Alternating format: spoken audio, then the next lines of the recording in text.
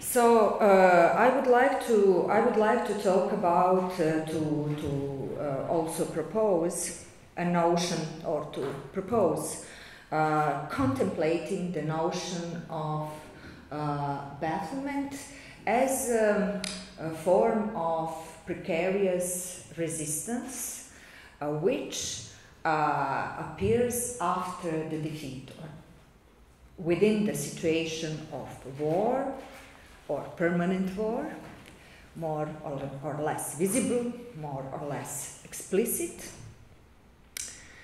So, the precarious resistance of those, of those who are powerless, even sometimes defeated.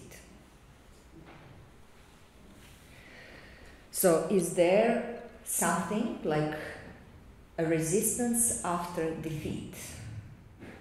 And uh, the story that I will uh, share with you uh, will uh, have a certain historical settlement that goes uh, maybe deeper in the past, but which can be easily also recognized as a structure or as a pattern that determines our contemporaneity. And I immediately see many links between what Milica was talking yesterday, what Lidija and Marina was talking today, also Vincent and Elke, and I know what other people will be talking about, so I in advance claim that there are also links between that and a short input of, of, of mine. So, notes on bafflement, the universal right to baffle. The term uh, that I'm presenting does not stand for a function or feature, but for an act and for a certain effect. I would like to speak about the gestures that are baffling and about the state of bafflement. Okay, we are using here uh, the, the, the, the, language, uh, the English language, which uh, I normally call the language of all the colonizers. So I would like to just uh, uh, make sure that you know like we understand the thing uh, bafflement is not uh, because it's kind of similar uh, to, to bluffing. So not bluffing but baffling. Yeah. Just to make sure we are uh, we are understanding each other.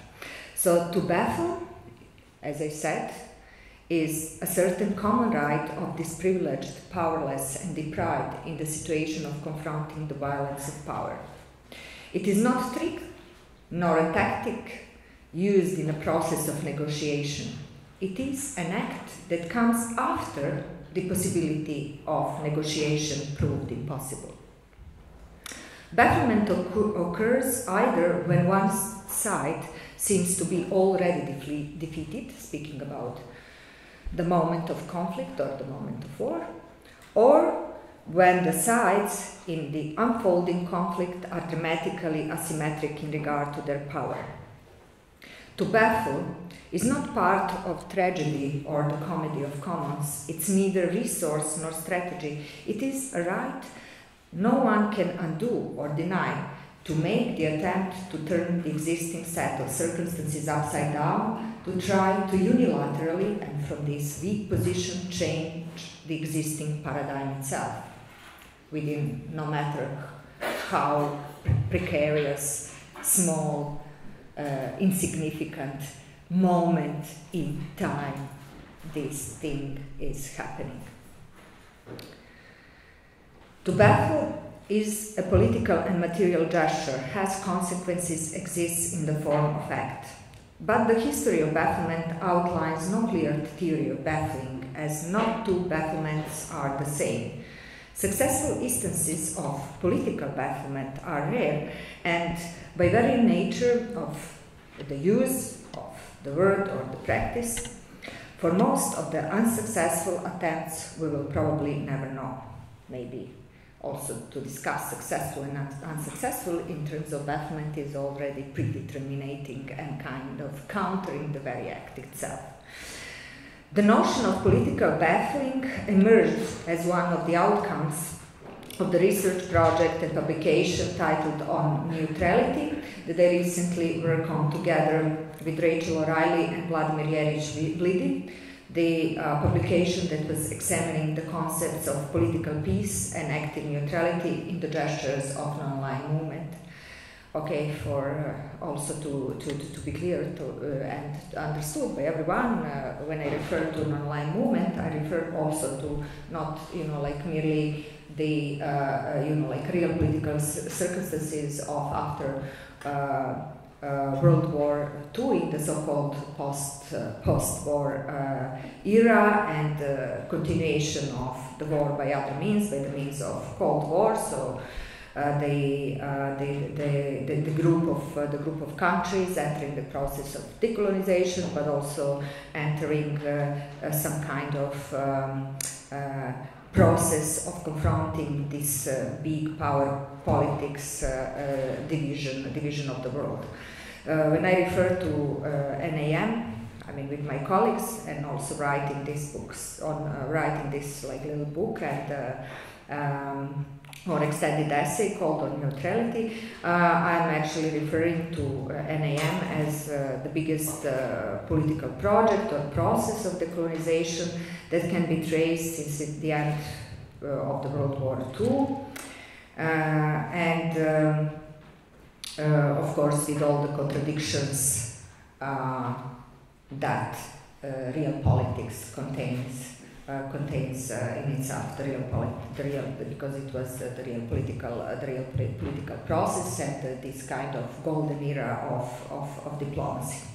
To return to our topic, the politics of active neutrality or political peace, what non-aligned movement was proclaiming as also uh, uh, juxtaposing their politics to the United Nations ideology of peace and uh, European uh, concept of uh, of neutrality, that is uh, Euro-Atlantic juridical management of political neutralism and the Western ideology of peace. So these adjectives were extremely important in linguistics, but also in the political practice of non-aligned movement and in their like a conceptual intervention into the post-war era, if the post-war era exists at all. I mean, I have to question this because I'm uh, I'm coming uh, also from uh, from uh, from Munich, from uh, uh, Haus der Kunst, where the big research project, art project, and exhibition called Post-War Art between Atlantic and Pacific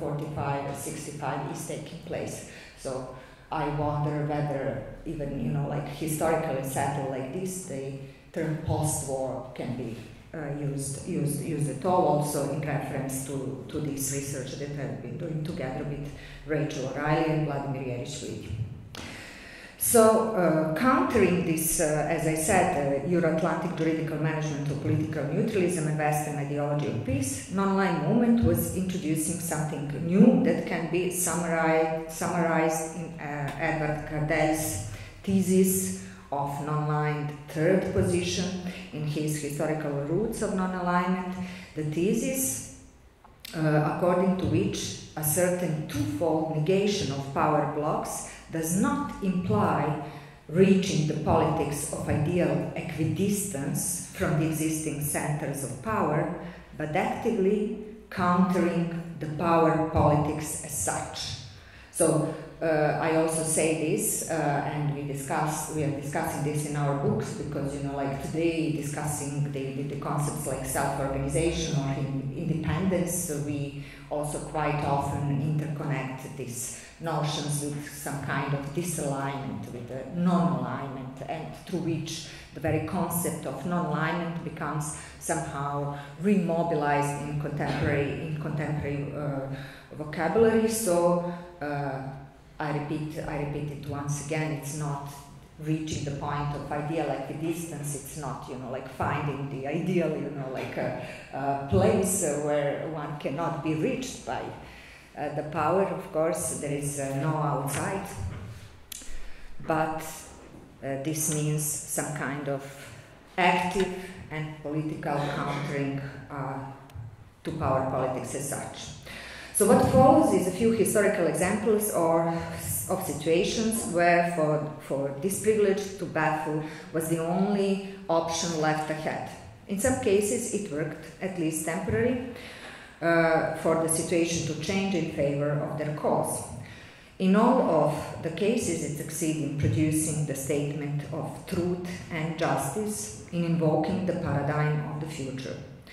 In those moments, at least briefly, the power had stopped advancing, experiencing, okay, on a different level, what those submitted to it live as daily experience disorientation, disbelief, and a sense of loss of any logic or legit legitimacy in what they thought is a valid social contract at the moment. So, the first example uh, under the title Our common protection is the privilege of being allowed, when in danger, to invoke what is fair and what is right.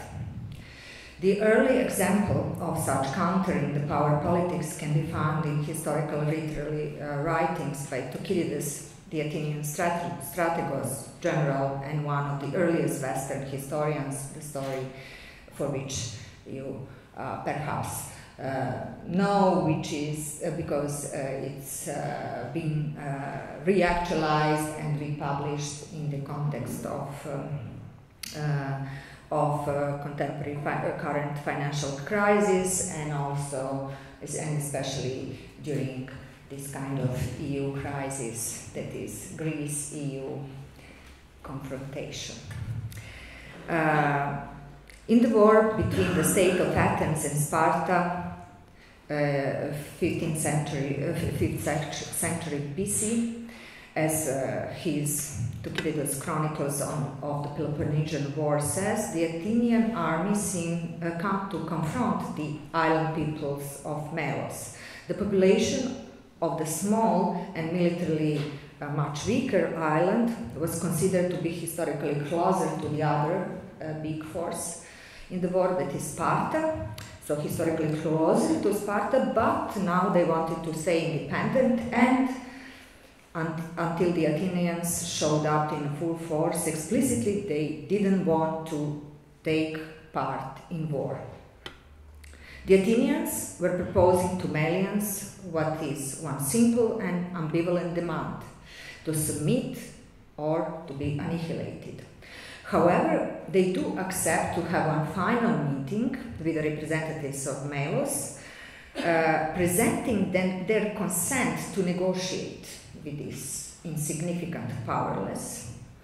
As the humanitarian act of the empire that takes care about the safety of their operation, so safety of the operation of their empire. Uh, but also, they cunningly talk about their wish to preserve Melian country and avoid uh, lives lost on both sides. But only in the case that Melos unconditionally surrenders to their rule. And we see how the dialogue goes and put some, some emphasis and uh, it's uh, of course uh, much shorter much shorter, much shorter version, and I think it's interesting to uh, also go through within maybe the context that I propose, or maybe even the wider context of this uh, this uh, conference, to go to this linguistics.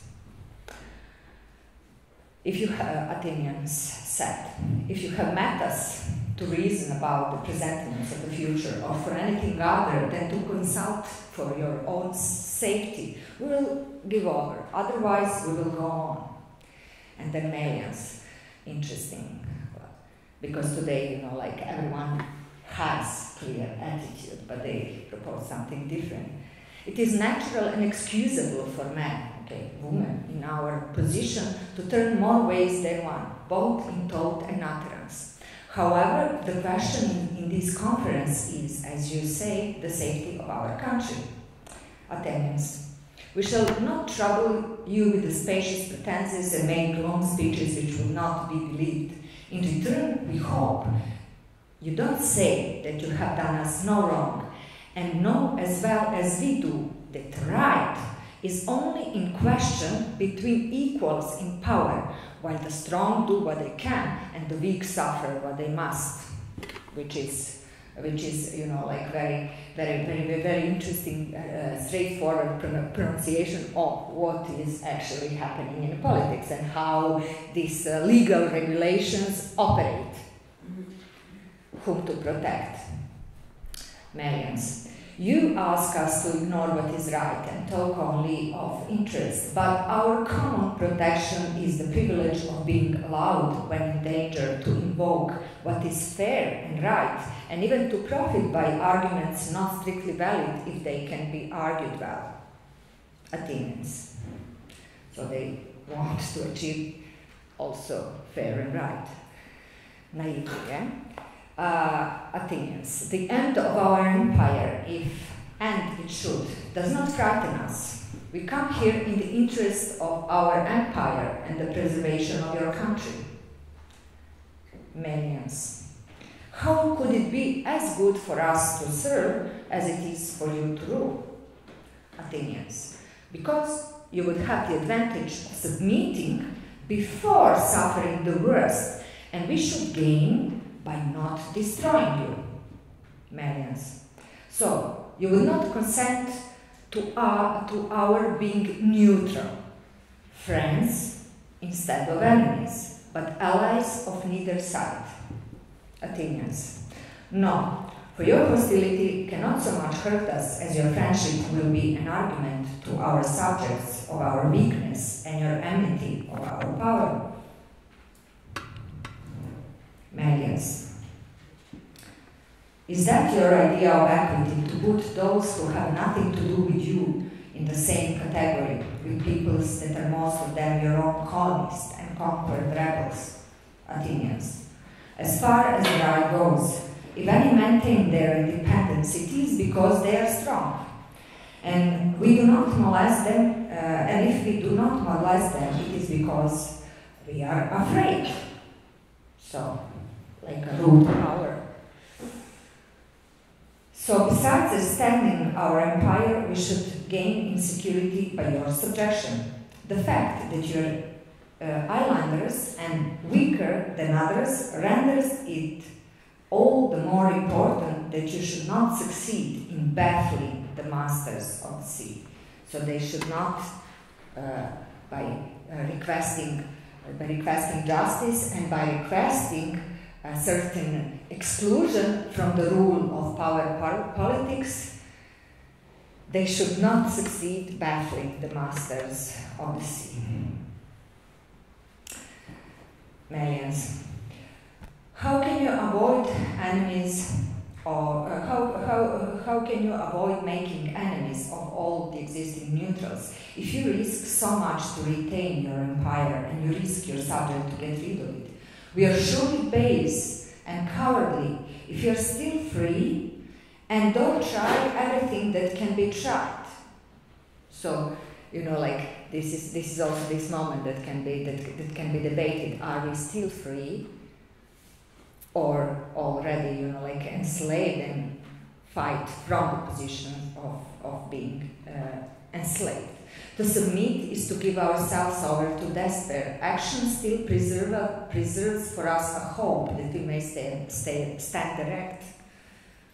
Athenians. Hope, dangerous comforter, may be indulged in by those who have abundant resources. Melians. We are aware, as you are, of the difficulty of uh, contending against your power and fortune but we trust that the gods may grant us fortune as good as yours, since we are just men fighting women, fighting against unjust. Our confidence, therefore, is not so utterly irrational. What caught our attention in this exchange between Melians and Athenians is precisely the political logic of the supposedly non-pragmatist and irrational Melian response to the historical expectation of their submission, and Athenians' persistence with a purely economical and cynical interpretation of Melian's positioning. Borrowing from Athenians' own wording in the essay book on neutrality, we called this Melian maneuver an Athenian's response bafflement, which is precisely what happens in the reception of the state of the, of the stated non-aligned position of those not attributed with power. It historically repeats in the reaction of large powers over and over again, regardless how rational, patient, or logical position of non-alignment is argued. Power politics, of course, ex excludes the powers, the powerless, placing them below the threshold of waging any consequential politics, even in this golden era of diplomacy that's uh, that's uh, the subject of, uh, of, of, my exploration for the case of today, it's even more uh, clear. So beyond the possibility of participation in the world affairs as serious political partners, it denies their capacity to think and act towards the production of commonality, it neglects them as political subject, infantilizes their attempts to self-position and self-determinate. The gesture of political baffling is or can be therefore seen as a performative way to state we are small, but we have politics. And such statement is often connected with the most dramatic situations structured around the issues of war and peace, life and death, survival or annihilation. The act of political baffling often includes risk but a kind of risk that's not calc uh, calculation within the parameters of known that could be potentially beneficial and profitable. Importantly, as I said in the beginning, to baffle is not to bluff. It's rather a total risk, which is often only and the common ticket of this privilege to participate in politics. The risk is usually contained in the possibility of invoking new paradigm too soon. next uh, chapter or example, the risk of invoking the new paradigm too soon against the rationality of positions of those who participate in power politics. And I show the demands of non-aligned movement conference held in Belgrade in 1961, which was constituted for this international movement struggling for decolonization of the world, negating the rule of power politics, and imposing demands for complete rearrangement of the power relations in the world. Okay, with all the, as I said, internal and real political contradictions following these situations, such as dictatorship, chauvinism, uh, and many, many, many other things that can be that can be uh, discussed on this occasion. So we see, as one can see also on this slide, the very first non-aligned movement conference amazed uh, the world by expressing the universal demand on behalf of all who are not in a position of power to reject and to dismiss the logic of, uh, as we learn from this dialogue, the logic according to which strong do what they can and the weak suffer what they must. The non-aligned demands had baffled the power blocs for merely, or I don't know if it is merely daring to imagine turning the world upside down as they could see it, and for demanding the change immediately and with no further questioning of yet to be elaborated the principles of New World, because that would be rational in the hegemonist perspective of instrumental reasoning.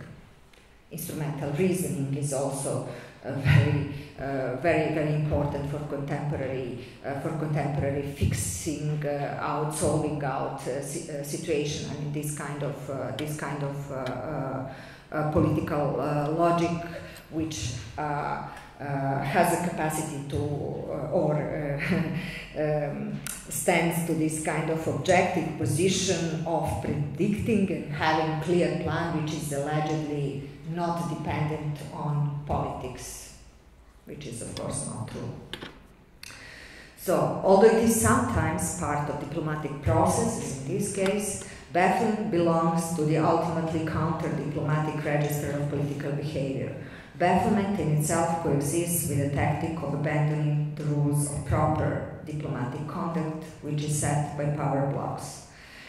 It is the last instance of certain constellation, situation of relation, and sometimes it can be the first instance of the new one. third micro example or big example uh, or chapter entitled How Could It Be as Good for Us to Serve as It Is for You to Rule? Another non-aligned movement conference taking place in Colombo, Sri Lanka in uh, 1976 and you can read the demands which are sort of very much recognizable in the light of uh, contemporary, contemporary financial, financial crisis.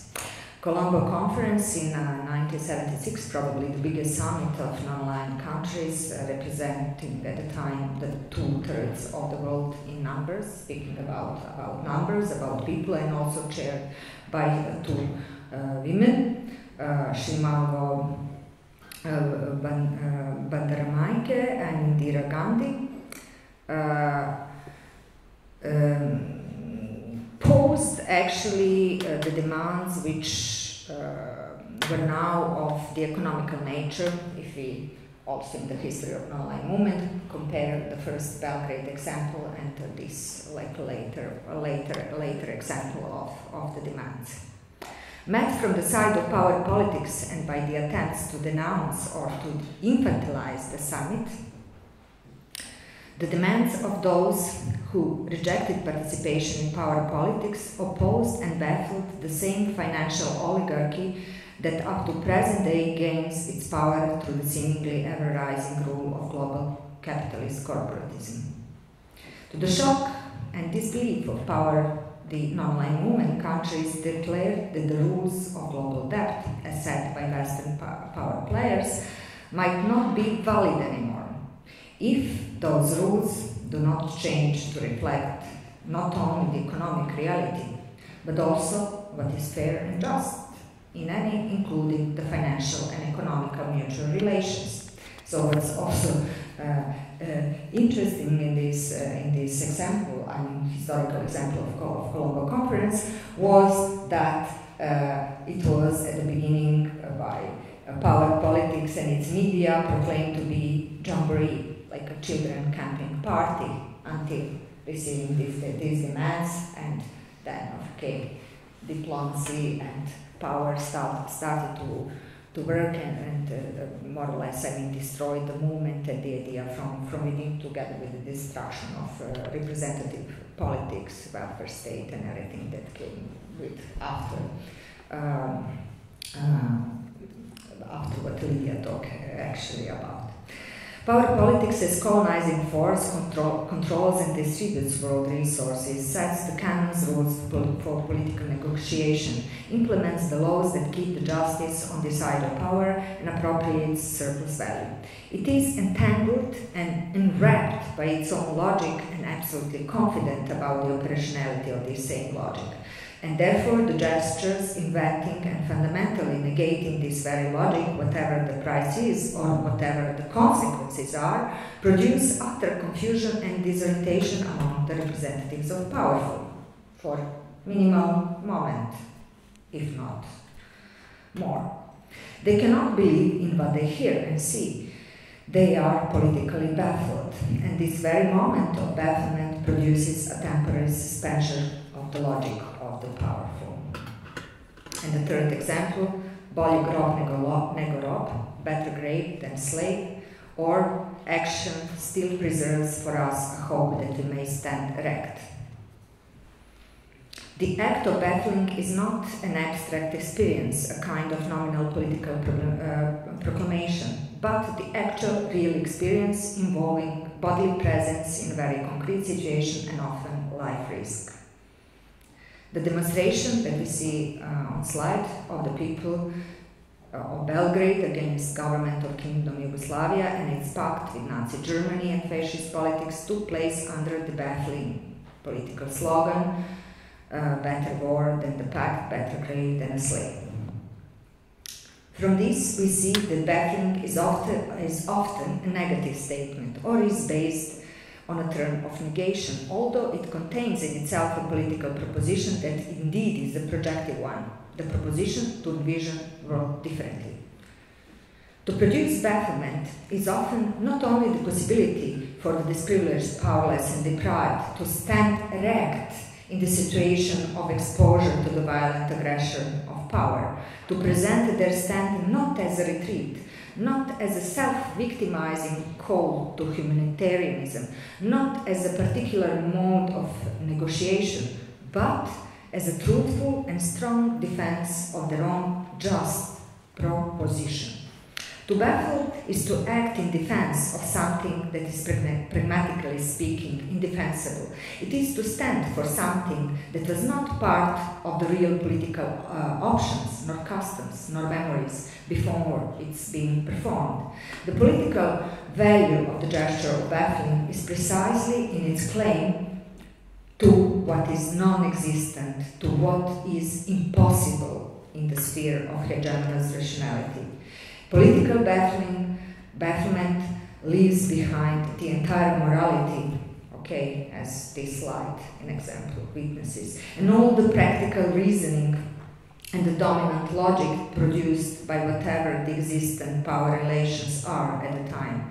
Powerful, in the most cases, are effectively shocked precisely by irrationality that temporarily suspends the rational logic of power what is rational is, of course, submission to of power.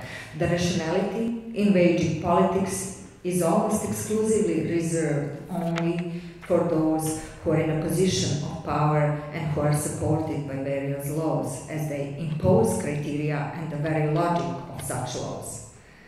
Bafflement is the product of not calculating attitude, which is the main reason of why the language of power categorizes it as irrational or irresponsible behavior. It risks everything. It has nothing, it, it, it uh, anyways, haven't got much to offer in the language of capital. But what it offers is articulation and opening of all the ambivalences of a certain concrete situation precisely by using truth speaks that escapes the normative diplomatic and institutional forms of addressing and brings language to a different level, that is, re redirects language to a different track of reasoning or thinking. Bafflement is the act of freedom uh, precisely because it occurs in the situation in which one has nothing or everything to lose. To baffle is the last instance of the right one can call in order to preserve freedom. To die free rather than to live enslaved is the ultimate message of the practice of, of baffling.